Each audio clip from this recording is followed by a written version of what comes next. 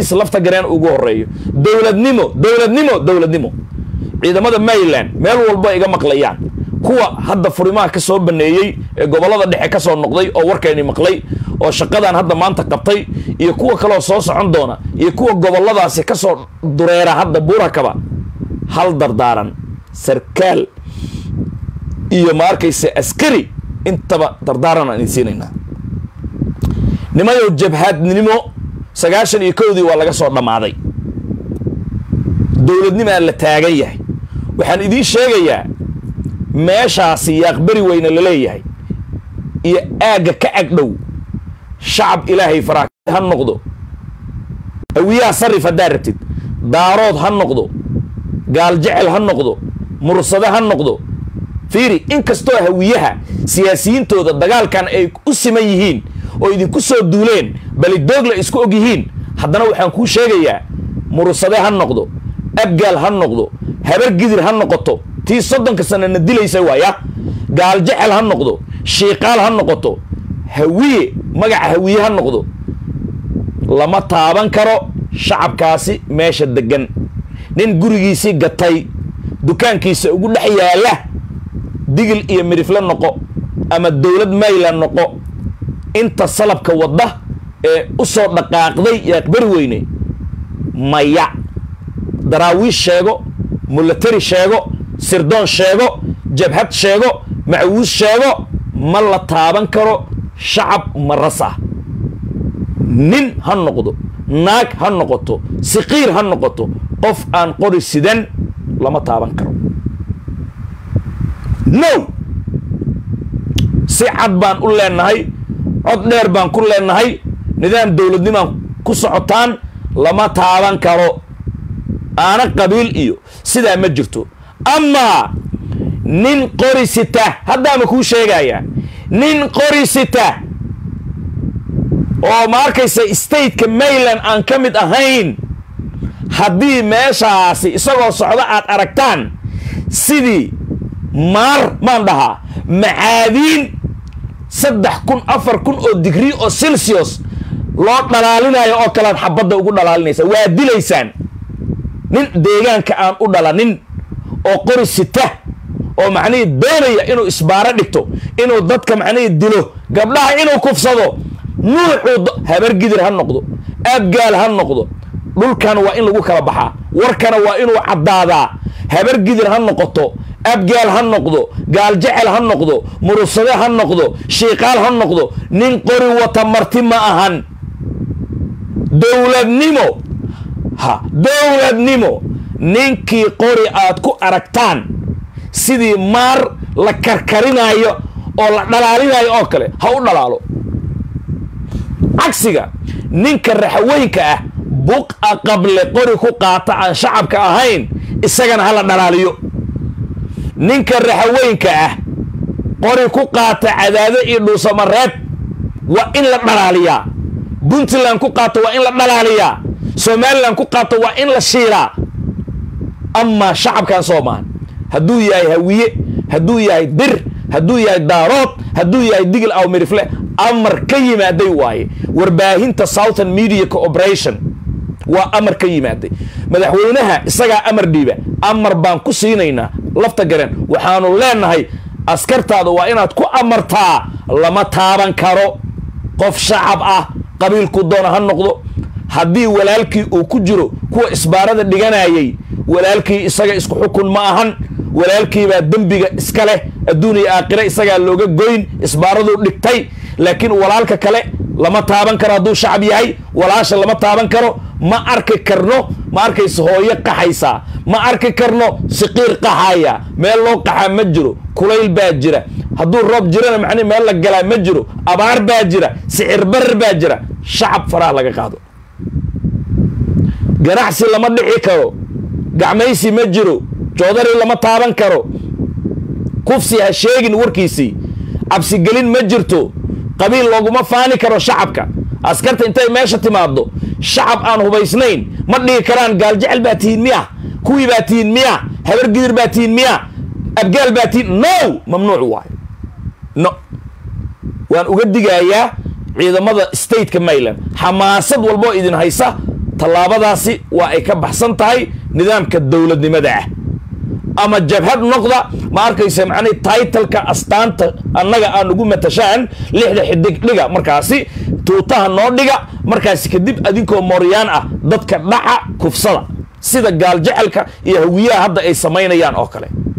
Amaa dowladnimo hadday tahay mas'uuliyadda statekaas haddii dusha ay idinka saaran tahay u dhaarateen tuutaha aad u xirateen haybadda qarannimada iyo tuutaha aad ilaalinaysaan tan islaamnimada cadaaladda alcadl guul dhammaystiran haddaad rabtaan shacabkaasi faraad ka qaadaysaan. Daahir amiin jeesow walaashiis hadda hadday yaaqbiri weyn ay soo marto xeradii ay idinkugu timaaddo hadday shacab tahay waxaa weeye waad ammaan gelinaysaan amnigeedaad ilaalinaysaan waad ka dhicinaysaan cadowga waad ka celinaysaan. Ha daahir amiin jeesow waan ku dhahay. Aadan kala dire walaalkii ama walaashii hadday xeradaasi soo agmarto hadda ammaankeeda idinkaa ka mas'uula.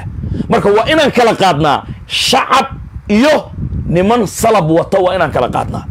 Ukraine adduunka xeerar baa jira dagaalada. Ukraine maxaa la isu reebtay? Ruush iyo ukraine maxay isku dhigayaan? Haddana ciidamada ruushka gantaal qaldamay marka laga reebo iyagoo shacab meel dhoobay ukrainenimo u dhammaynaya miyaa jira?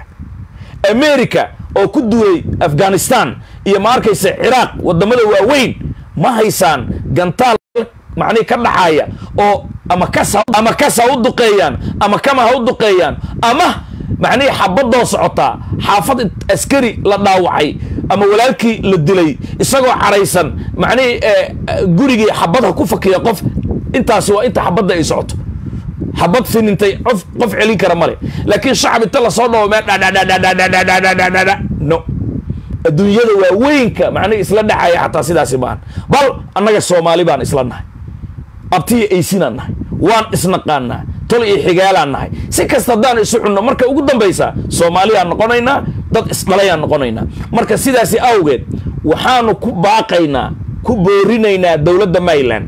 Dowladnimo iyo jabhadnimo waa kala labo. Hadday iyagu shacab laayaan marka hiiraan ha ku laayaano meelo kale ha ku laayaano hadday iyagu laayaan xisaabtaasi sibaa loo goynaya ama idinku meesha aad ka talisaan oo gacanta aad ku dhigteen shacabka ilaahay waa in uu idinka nabad helaa amnigana aad sugtaan. Kuwa amnigooda la sugaayana waxaa ku waajib ah inay dowladda la shaqeeyaan aanay gabaad siinin dadka isbaarada dhiganaya. Qabiilkay doonaan ha ahaadaan. Waa inaysan gabaad siinin tuugada ee ma arkaysa macnihii dadka dhacaysa oo dilaysa. Oo hadhowdii haddii nin tuug ah gurigaagii aad gashato oo isbaaro dadka u dhiganayay adiguna dembiilaa noqonaysaa. Sharcigana qaab shacabka loola xisaabtamuu leeyay marka si kastoy ahaataba nidaamka dowladnimada waa sidaas. Annaga hadda waddan gaalaan joognaa. Waddan gaala annagoo joogna nin isku qabiil aan nahay dembi uu galay miyaa aniga la ii soo xiraya? Anoo weliba fiiri soomaali baan ahay muslim baan ahay soomaalida aan isla joogno waddanka aan joogo dembi qof uu galay. Ninkan waa soomaali aadan ingiriis ama macallinka lagu la soo qabta miyaa laleeyahy wargaalka iyo caddaanka xataa sharcigiisa waa sidaasi. Waa yahay iskaba dhaaf aabbahay hadduu dembi galo waddanka aan joogo adduun iyo aakhiraba dembiga aabbahay maanaa leh. Aabbahay qabrigiisu waa gooni naftiisu waa gaar. Aniguna naftaydu waa gooni qabrigayga waa gaar. Hadda ma fahmaysaa? Qof walbana kitaab buu leeyahy malaa'ig baa macnihi labada garab ka saaran shar iyo kayr qoraysaa hadda ma fahmaysaa? Marka waxaa loo baahan yahay inaan sidii bani aadamka aan u noolaano sida xamse uu sheegay isla markaasna macnihii dowladnimo aad qaadaan waddadeeda. Raxweyn waxaan u sheegayaa caadifadda yaysan sababin in nidaamka dowladnimada iyo qawaaniinta dagaalka adduunka aad khilaaftaan. Waa ku waa ku celinaya qof soomaali ah utun walbo aad u qabtid hadduu shacab yahay ma dili kartid. Askariyow ma taaban kartid mailanow stateka aad joogtid macnihii nidaam iyo kala dambayn dacwad haddaa u qabtid saldhigga gey. Dacwayso ninkan dacwad baan u qabaa. Sidaasaad maraysaa. Waxaan u sheegayaa askarta maryland dowladda maryland aan u sheegayaa waxaan u sheegayaa wasiiradaan u sheegayaa xildhibaanadaan u sheegayaa qodobkaasi waa lagama gudbaan. Amaa nin qori wato ma yahay. Nin qori wato waa dhalaalinaysaan. Dhalaalis ma taqaanaa. Waa dubaysaan aan ku dhahay. Waa dubaysaan beekee amka inta xabad ay si isbaaro dambe fiiri qof qori wataa marti maaha xooggiisuu ku joogaa. Marka dhulkan waa in nin qori wato oo deegaanka ah uu ka taliyaa kan kalena shacab u ahaadaa. Sida somalilan sida puntland sida galmudug maamulada oo dhan siday u nool yihiin waa sidaas. Adduunkana sidaasuu u nool yahay. Hadda ma fahmaysaa? Waa inaad nabadgelisaan shacabka aydan kala faquuqin. Cagsiga ninkii xabad la yimaada oo qori wata waa dhalaalinaysaan waa ku celin doonaa. Hadduu habar gidir yahay hadduu gaal jecel yahay hadduu yahay abgaal hadduu yahay shiiqaal hadduu yahay mudulood wuxuu doona ha ahaado. Hawaadle qof qori sita ee raba isbaaro inuu dhigto waa dhalaalinaysaan. Waa in aysan helin waxay shimbirta cunto xataa warka ma yahay mise ma cadda sidaasaana inoo ballana. Ciidamada buurarkaba soo socdaa waxaa weeye tallaabadiina soo fududeeya waddadaad soo gasheen caawa macnihi dhulkan wuxuu u baahan yahay sifayn dhab buu u baahan yahay. Haddii gaal jecel iyo hawiye ay u shaqaynayso waxaan ku aargoosanaynaa shacab. Intaan macnihi dhuumanaan baabuur gubaynaa. Haddii taasi ay shaqaynayso soomaali gudaheeda ay ka sii shaqayn doonto waa loo joogaa. Waxaan rabaa fayriska waa taako villa soomaaliya inaan aadaan doonaya. Villa soomaaliya ma arkaysa macnihi shir baa ka jira culus warbixintiisaoo dhammaystiranna shirkaasi waa dib baan idinka siin doona haddii allah wadala uu ka raali noqdo lakiin foxka waxaan rabaa inaan kanaalada aan furo in badan dadka inay hadlaan caawa. Ee ah macnihii magacaab magacaabidda taliyaha belayska. Ee ma arkaysa macnihii asad diyaano magacaabista ra'iisul wasaare ku-xigeenka iyo cashuurta. Waxaa weeye laba qodob xasan sheekh maxamuud dhibaataa ka haysata. Qodobna waa kan la soo saaray in ganacsatada dekeda laga fududeeyo dadka joogay. Xasan sheekh maxamuud wuxuu ku qasbanaaday in reerkiisii xitaa meesha uu ka saaro si arrintan loo dejiyo maadaama culaysyo fara badan ay haystaan. Dadka meesha laga saaray waxaa ka mid ah cabdirasaaq isaaq iidow oo abgaal u dhashay wacaysle ah ismaaciil wardheere oo abgaal u dhashay wacaysle ah saddex xaawo axmed xasan oo abgaal wacaysle u dhalatay cabdirasaaq xasan sheekh oo abgaal u dhashay wacaysle iyo maxamuud cabdi cali macnihi gabayare gabayre oo u dhashay ma arkaysa abgaal wacaysle ah. In iyagu sandareertadoodii xataa oo meesha ay ka qaadanayeen in xasan macnihii uu yidhahdo balheedhe macnihii baasha hala kafiifiyo oo meesha laga saaro. Marka qodobkaasi waa la soo saaray. Labada qodob ee kale arrinka ah magacaabidda ra'iisul wasaaraha in golaha wasiirada ay soo jeedin ra'iisul wasaare ku-xigeenka arrinkaasi xalay toole xildhibaanada direed waa tii xasan ay ku buuqeen. Xasan sheekh maxamuud maantay wuu soo hadlay wuxuu yidhi xalay wuu soo hadlay wuxuu yidhi niman yahow arrinkan magacaabidda ra'iisul wasaare ku-xigeenka ee la siinaya digil aw mirifle dib ha la igu dhigo. Xasan baa taasi soo dhex galay oo dib u dhigay qodobkaasi. Qodobka labaad waa taliyaha belayska federaalka soomaaliyeed. Waxaa qoorta isla galay xamse cabdi barre iyo ninka la yidhahdo xasan sheekh maxamuud xamse wuxuu taagan yahay aniga sulub ha la ii daayo inuu taliyaha belayska uu ahaado. Xasanow waxaa rabtid anaa kuu samaynaya laakiin daarood ma arkaysa anigaa matalahaya daarood waa in aniga la iga dambeeya wixii la siinayo. Horta ma arkaysa xamse cabdi barre iyo xasan sheekh maxamuud baa isku murugaysan oo qoorta iskula jira. Hadda aan kula hadlaayo marka waxay u badan tahay magacaabista ee asad diyaano in dikreeto uu ku soo magacaabo xasan sheekh maxamuud oo uu ka boodo soo jeedinta golaha wasiirada. Xisaabta meeshaasay joogtaa wixii intaa ku soo kordhaana waxaa weeye telefoonada ayaan furaynaa cawada sheekada way kulushahay dadkii cuslaay oo dhan way hadlayaan dad aan hadli jirin xataa way hadli karaan. Microfonka wuu furan yahay qof loo diidaayo male maraykanka ayaa ugu horreeya nasiib u yeeshay. Ma arkayse macnihii muwaadin inaga soo wacay. Telefoonka inaad u dhowaatid isku day waxay saaran tahay yaa beri weyne ayay saaran tahay. Maxaad ku dari lahayd isbaaradan daahir amiin jesow waxaan ku darahayaa soomaalidu waxay ku maamaadaan nabar la filayaan naxdin male may maqlaysaa horta? Aad baa lagu maqlayaa hadalkaaga isdaba dhigo. Daahir amiin jesow horta ummadda soomaaliyed waa salaamaya yaana hamuunta kula dhicine. Iyo ciilkaan u qabo caloosha u shaqaystayaasa baabiyey soomaaliya waan salaamayaa asalaamu calaykum waraxmatullaahi wabarakaatu. Ku dhammaantiin iyo ilaa macallinka dhalaan qayma la iga guddooma salaan ka bacdi. Horta nabar la filaya naxdin ma leh arrintan wax badan bay soo socotay. Adaana ka hadlay hadda ka hor saddex mise afar ciidan oo halkaas gobolkaas barwaaqada ee degan yaaqbari weyne dixsiile iyo leego afgooye muxuu ahaa janaale bcause qof reer muqdisho aanoo geed geed baan u garanaya arrada waxa waaye ciidankaas waxaa haystaa tiri xasan sheikh aad iyo aad walaasha iyadaa waxaan rajaynayaa in ma arkaysa macnihii telefoonka uu ka go'ay balse laakiin jaaniska waan siin doonaa si ay u dhammaysato oo naga soo wacday qaaradda maraykanka. Dhammaan dadka doonaya waxaan rajaynayaa inaan fursad u heli doonno hadalkaaga halkii ka sii wado walaal qaaliya. Aduu kaa go'ay cilladda waa dhankaaga. Sorry. Marka ciidamadan aad hadda ka hor ka hadashay hadda soof si fiican ii maqli maysa isdaba dhig waa lagu maqlayaa ciidamada hadda ka hor baad saaxiib ka hadashay. Waxaad tiri ciidamada iyo aqbari weyne iyo leega iyo janaale iyo afgooye iyo baraawe iyo inta u dhaxaysa joogta habar gidir iyo abgaal baa loo dhiibay. Maxaa loogu dhiibay? Riisanka loogu dhiibay ummadda soomaaliyeed inay sheegtaan rabaa waa hoomo. Waayo ummadda soomaaliyeed waa four bonty five. Ciidanku waa isku dhaf sida sharcigu yahay. Saraakiisha madaxdaana waa isku dhaf sidii sharcigu yahay ilaa jareer weyne ilaa beesha shanaad ilaa qolada tiraahda dadkaan ugu madaxweynay waa u siman yihiin xaquuqda taliyayaashu hadday shan yihiin shan qabiil inay ka soo kala jeedaan baa la rabaa maxaa hal qabiil ka dhigay something in there marka weerarkii lagu qaadayo baraawe bay qusaysaa horta indhaha ha la furo reerkan weli kama samrin buurxa kaba inta ka soo rogan inay furtaan oo iyagu iska leeyihiin iyo inta baraawe ka soo rogan waana isu sheegna boqol jeer dadkeenna aqliga u saaxiibka waa isu sheegna tii baana hadda socota. Habargidir xoogaabay isgaabisay maadaama ay fongor noqdeen oo ummaddii oo dhan farta ku wada fiiqday. Ma maqli jirtay saan la garan iyo saangamlo u soco.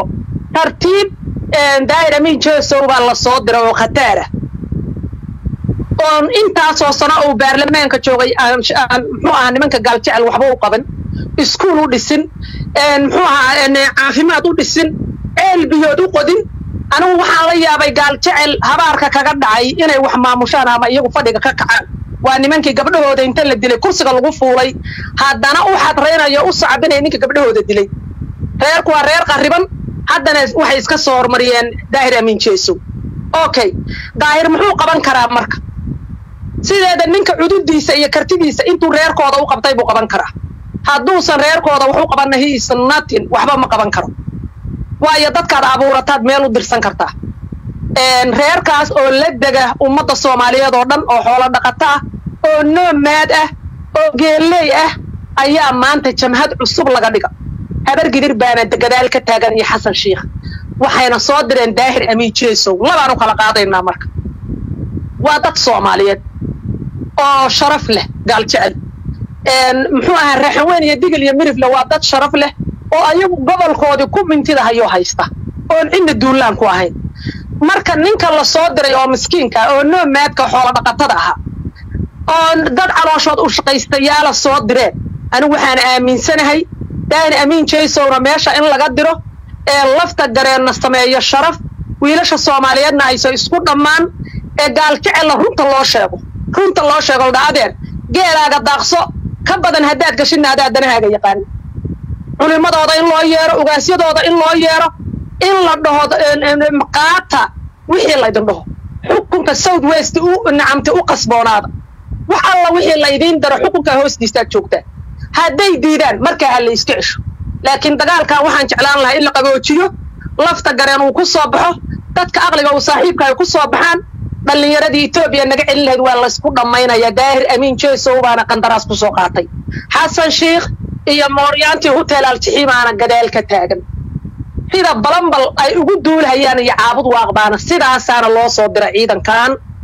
Anigu waxaan leeyahay marka ragga dadka inteenna dibadaha joogta inteenna idaacadaha haysata inteenna damiirku ku dambeeya soomaalinimadan wiilasha ha la kala celiyo gaal jecella gembar ayagu la-eg ha lagu fariisiiyo wuxuu iyo muuse suudi yeelaxow ninaan kabihiisaba aqaanin baa ila doodaya waayu cabdullaahi yuusuf u socday gaal jecel kabaeeda inay barataan rabaa intay leegyihiin sayskooda intaas halkaasaan uga gudbayaa waana siday tahay ma moodaa marka daahir amiin jesow in dad iska degan uu baxareeyey hadda. Oo ma arkaysa macnihii qalqal uu ku furay oo ma arkayse xaalad kale uu geliyey isagana hotel uu isaga raaxaysanayo isagoo basaboor ajanabiya wata waa runtaa ilaahay afka kaama gooyo. Waa siday ahayd baad dhigtay. Daahir amiin jesow baasaboor ingiriiskuu leeya. Gaal jecel hadday damiir leeyiin ingiriiska ku dacweeya. Ragga maanta ka dhintayna asaga laftarkiisa maxkamad ha lagu soo daaro. Idonkeer ninku ka soo qaatay lacag. Dad soomaaliyeed baa nahay. Anigu gaal jecel ma ihi xataa hawiye ma ihi raxan weynna ma ihi laakiin gabar soomaaliyeed oo daarood ismaaciil ahaana dadkaanaan waxaan diidaya inay qabyaalad hadhow igu leexiya anigu wiil soomaaliyeed inuu dhinto ma rabo. Daahir amiin jesow gaal jecel lacag isku dardarsato maxkamad ha soo saare waayo gaal jecel dab inaad dareensatid iyo inaad unsan qasho kala daal miya maamaadii baa iga maqani.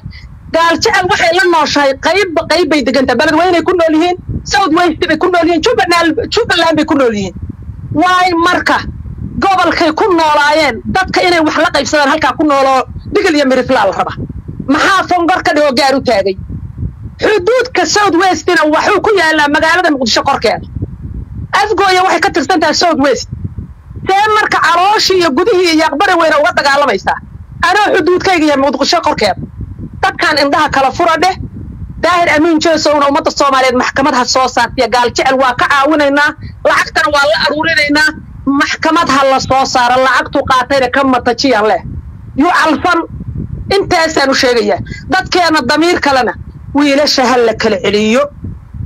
War rag harin gablan baa soomaali taagan tahay saasaan dhihidaa lafta gareenna aqli ha isticmaalo gaal jecesha jago iyo waxa u magacaabo hoosta ha soo gashado waa dad walaalihiisoo reebaadiye ah. In la laayo maaha waa in la soo dhowaystaa waa in xabadka la gashadaa waa in waxay tabanayaan wax loo magacaabaa. Waa in ciidamada south west lagu daraa. Ee waayo cadow baa halkaan u taagtaagan oo ku shaqaysanaya haddii kale marka lafta gareenow intii dameer ku shaqaysan lahaa lafta gareenow adigu ciidanka gaaljacal ku shaqayso. Waddanka inay leeyihiinna jecelaysii oo ay wax ku leeyihiin south west. Aniga aqligayga yarkaa waa intaas. Aad iyo aad bay u mahadsan tahay walaasha iyada ah stuudiyaha warbaahinta southern media corporation inoogu warramaysay.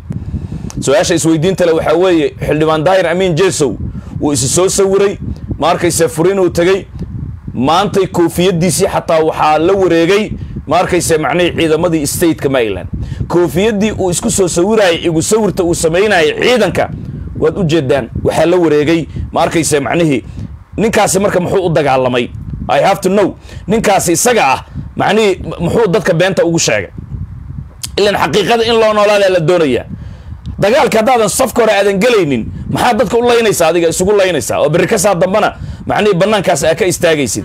War fiiri wuxuu ku leeyahay duufaanta sheekh xasan barsane. War duufaanta sheekh xasan barsane tii caydidaa wax qaban weyday. Ha tii caydi duufaantii sheekh xasan barsaman haddaad tirahdid duufaantii sheekh xasan barsan annaga nin sharaf leh soomaali u dagaalamay halgamaanaan u naqanaa laakiin ha hilmaamin burhaantii sheekh uweys dheerana inay jirto. Ha sheekh xasan barsane macnihi dad dadka sharafta leh ee soomaaliyeed buu ka mid yahay. Dalkan u soo halgamay. Marka xasan barsane haddaad tirahdid uweys dheerana burhaantiisi way taallaa. Whats this? Koofiyad ma aan haddee photoshop maan muuqaalkiina wuu yaallaa. Daahir amiin jeso koofiyaddii uu watay meeshaasaa lagu soo qaatay waa ka wiil maylana wata. Haye wuxuuna kuleeyahay waa dagaalamaynaa waa dagaalamaynaa. Waray dadka beenta ha u sheegin intaasaan u sheegi lahaa daahir amiin jeso ha waayahay ma arkayse macnihii ciidankana saasaan kula dardaarmaya cabdisalaan maxaa ku daraysaa toban daqiiqo?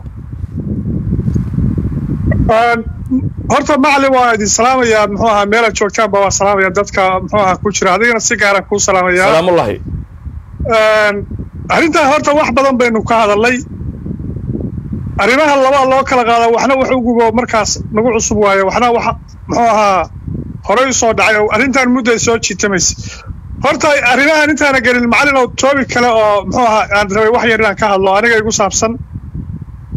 Horta meediyaha dee waan soo galay nin weyn oo waayo araga oo oo soo galo oo khabiira baan ahay. Hama isfaanshe xalay dee waan arkaya kulligoodha toobigii anigaa layga dhigtay.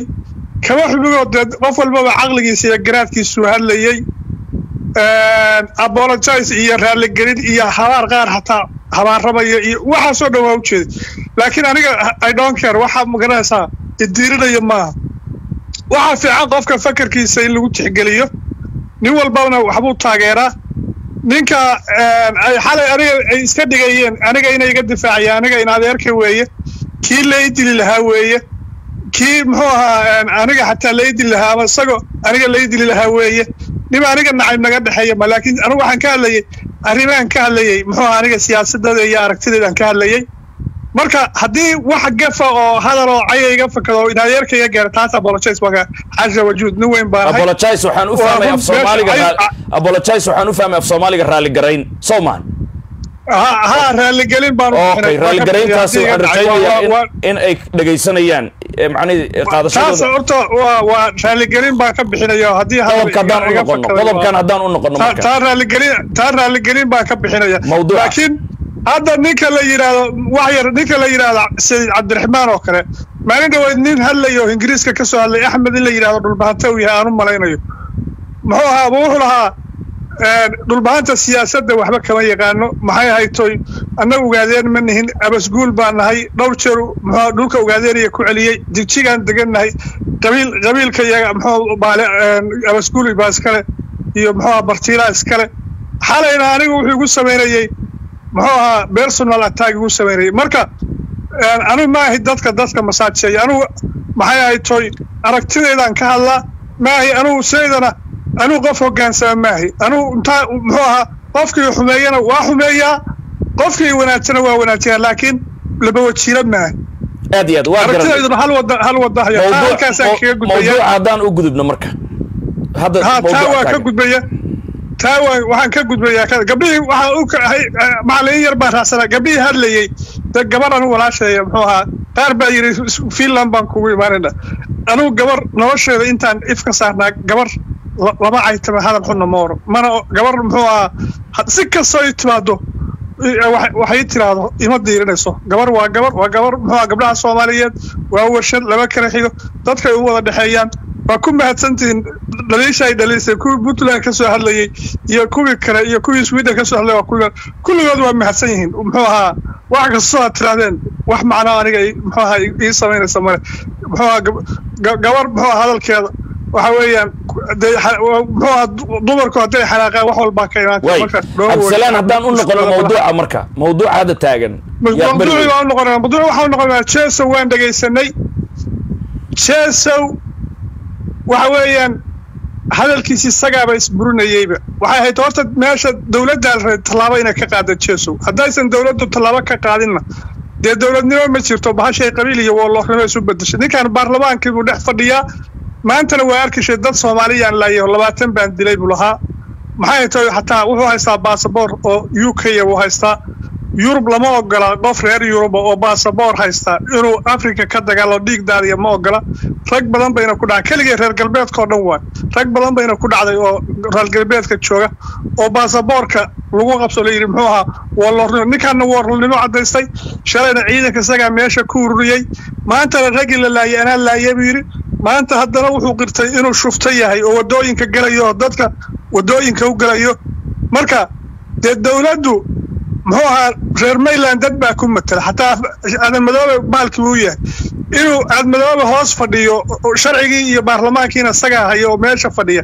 Dad waa loo raa inay dhex fadhiyaan oo dadkii le waa laynaynaa waddooyinkaan gelaynaa oo shuftaanna inay dhex fadhiyaan. Xasan sheekh madaxweyne soomaaliyeed buu sheeganaya. Ra'iisul wasaare kabine dowlad bay sheeganaya.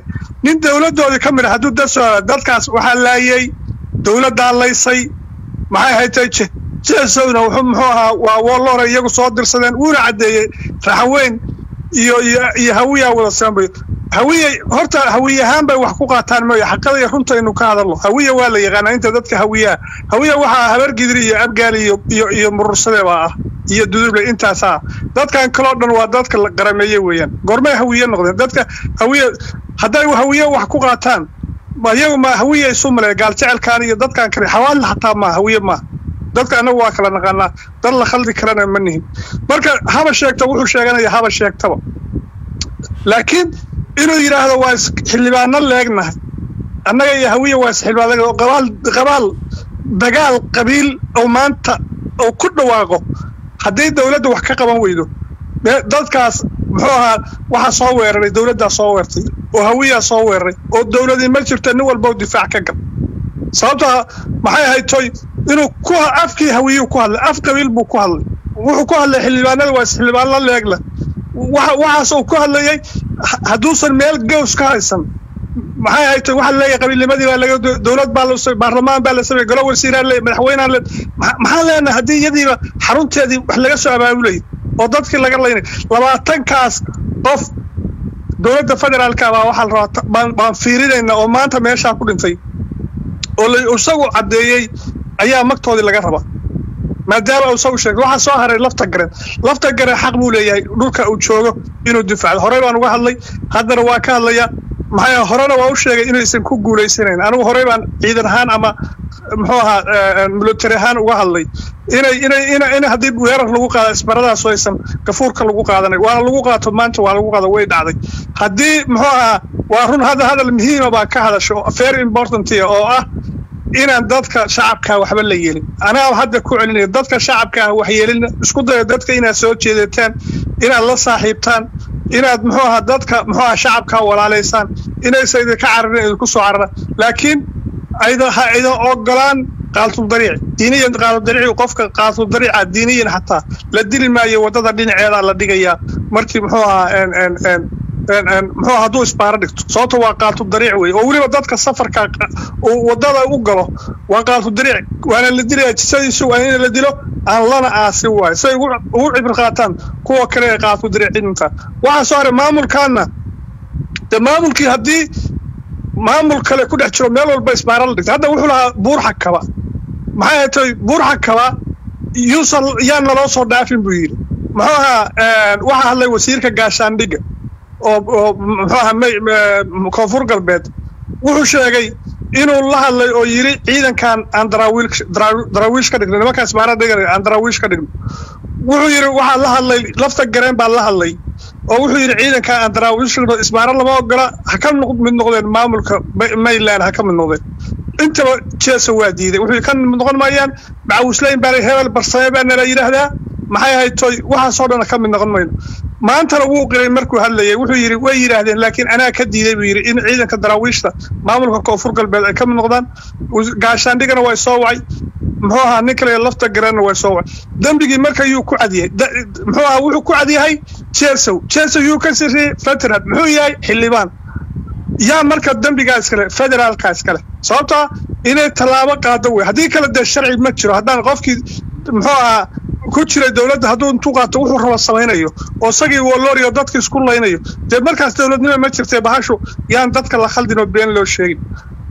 Maxay ahayd to ciidankaana macawisley haddaan anigu maanta aan tago yaaq bari weyne iyo haddaan dhulkaa tago.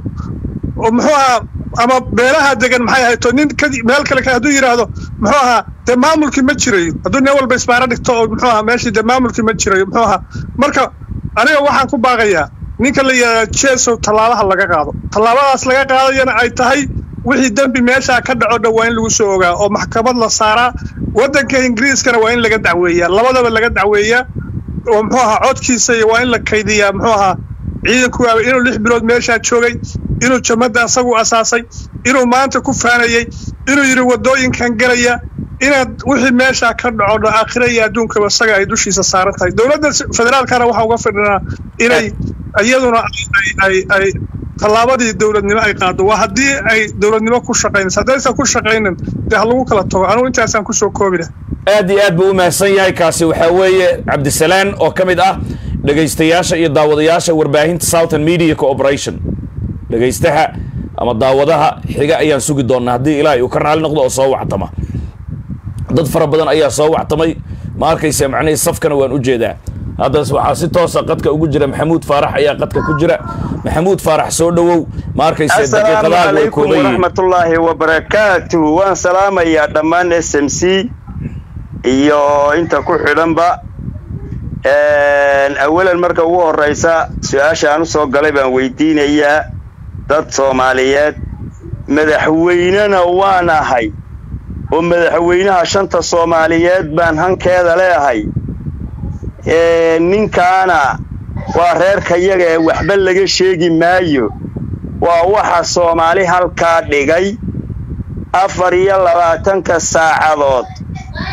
Xasan sheekh maxamuud baa wax laga sheegayaa farmaajo waa aabbaha iyo madaxweynaha ummadda soomaaliyeed prime minister soo noqday waa la dhaliili waxbaa laga sheegi. Haddaadan rabin in la dhaliilo gurigiinna ku hayso. Gurigiinna ku hayso. Waayo nin xil qaaday eed qaad baa la yidhi. Midda kale waaligii masar camar binu caas daahiyatul carab ninkii saddexdii nin ee markay soo islaamtay rasuulku uu yidhi maka beerkeedii bay soo tuftay. Khaalid binu weliid camar binu caas iyo suhayl binu camar. Waa ninkii gelayey baycatu ridwaankii la gelayey heshiiskii. Khaalid binu weliid iyo ninkii muhaajiriintii masar loo soo diray ee najaashul xabash kula doodayey saxaabada.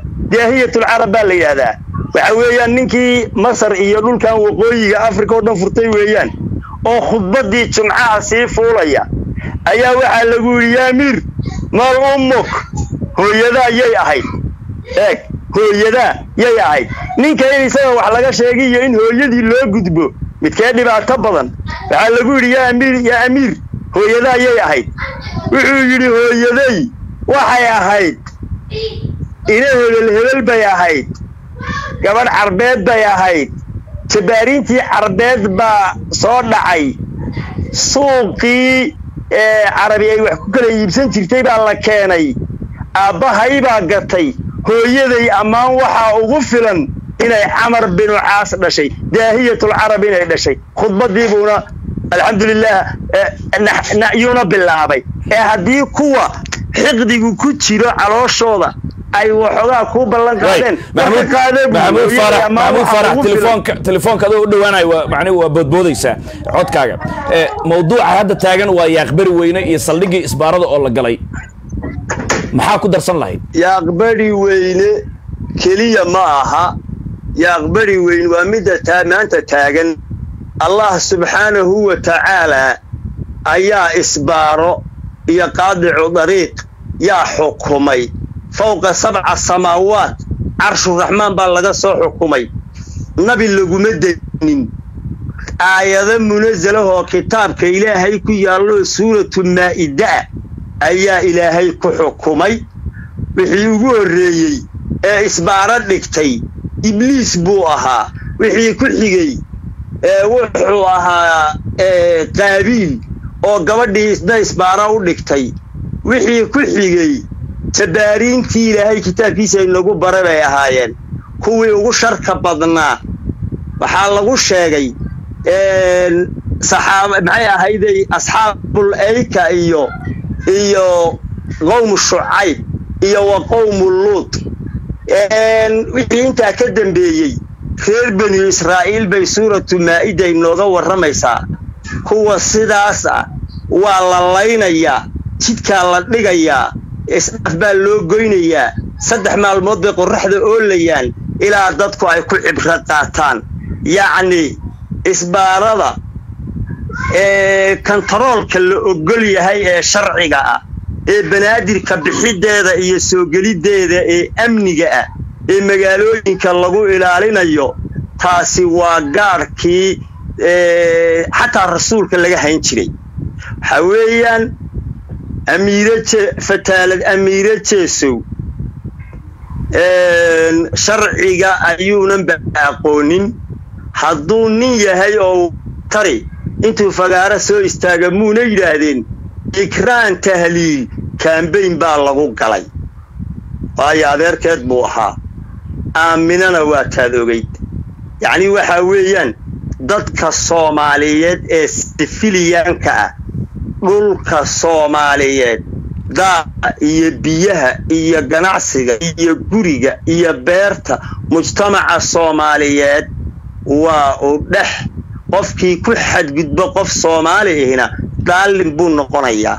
Laakiin waxaan isbiyaarada ah ikay maamul noqoto yacni raxan weyn maanta ma laha yaaq beri weyne iyo ceel cali iyo galbeedka hiiraan baanu maamulaynaa ma laha. Amiire jee fataalad amiire jeesow anigu waxaan leeyahay jaahilnimo darteed ayaa waxaad garan laadahay kursiga aad ku fadhido baarlamaanka aad tahay. Yacni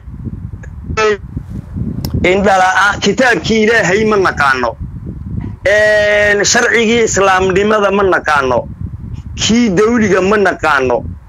Yacni waxaa weeyaan qofkani markuu ku dhaarto kitaabka munazalkaa markuu ku dhaarto waxa uu ugu dhaartay hadduu fulin waayo sharul khalqi buu noqonayaa. Waxaan leeyahay u soo noqo ilaahay u toobadkeen kitaabkii aad ku dhaaratay wiye kuma kala xigo qofka koob galbeed iyo qofka gaal jecel maba kala xigaba waayo aad iyo aad buu umahadsan yahay walaalayaal ma arkayse maxamuud faarax ayuu ahaa stuudiyaha warbaahinta southern media corporation inoogu warramaya maxamuud faarax qadka waxaa macniga ka xumeeyey internet sida aan qiyaasayo dad fara badan ayaa saf ku jira. Waxaan jecelnahay dadka oo dhan inaan wada gaarsiino hadalka. Dad fara badan baa raba inay hadlaan. Shan daqiiqo ayaan isku dayi doonaa dadka inaan siino oo ma qofkana hadalkiisa uu dhammaystirto oo ma arkayse macnihi uu soo koobo. Shan daqiiqo qofka hadal uu ku dhammaysan karaa. Salaamullaahi calaykum isbaarada iyo aqbari weyne sideed u aragtaa oo maantay ciidamada maryland ay ku baxeen. Kuma maqalno codkaaga walaal qaali ah. Cilladda waa xaggaaga. Haddii cilladda koraa u qaadi kartid. Halow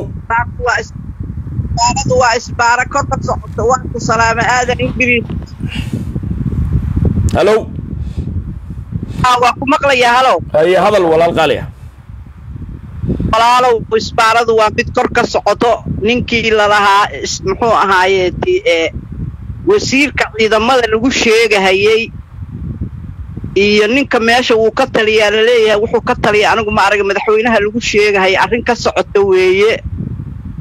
Hawshaan waa hawl kor ka dhisan isku xiran.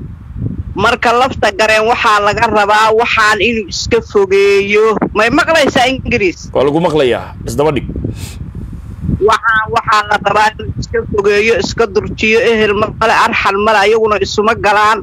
Waa qowlaysato isu timid.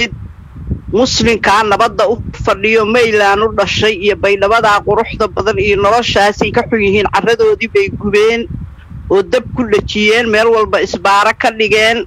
Meel walba dagaal ka socdaa dab inay idinku dhejiyaan bay rabaan. Iska celiya nimanka haddaad nafleedin haddii kalena sida dhulu ololaya aad u ololaysaan balaayooyin buu soo wadaa waata la leeyahay. Isbaaradii balaayo kaluuba ku soo dara iyo masaari iyo balaayo. Balaayo dhan buu ku soo wadaa. Ninkaanu dalka inuu rogaan loo doortay. Oqon waxa weeye cadiho ama ku cunay ama ku ciideeyaa ka dhacda meesha. Ina cumar geelaana hawshaan wato oo ka dambeeyo ninkaanu waxba maahan ina cumar geelaan xukumo u taliyo waddanka madaxweyne ka ah marka soomaalidu waa wada maqlaysaa waana wada ogtahay. Qafiga aqliyari ma jiro. Waxaan odhan lahaa anugu war soomaaliyay kaca war kaca war ka kaca meesha. Waddanka madaxtooye ugu gala qashinka meesha dhooban soo daadsoo meesha ku laayaan odhan lahaa. Aad bay u mahadsan tahay walaasha iyada ah stuudiyaha warbaahinta southern media corporation inoogu warramaysay ma arkayse maamo soomaaliyeed ayaa safka sida uu yahay. Kadibna waxaan u jeedaa macnihii soomaaliya waa la weyn. Daafeed ayaa ma arkayse macnihii ku-xiga ayaan dhihi karaa. Qof walbana waxaan isku dayi doonaa inaan wakhtigiisa aan siino. Hooyo soomaaliyeed ma arkayse macnihii telefoonka waa uu qaldamay i think hooyadaha soomaaliyeed waan wacaynaa jaaniskeedana waa siin doonaa haddii allah awoodale uu ka raali noqdo